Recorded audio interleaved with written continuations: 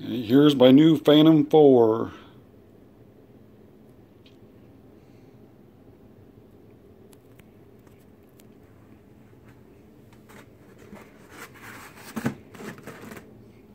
Comes with a styrofoam carrying case thing.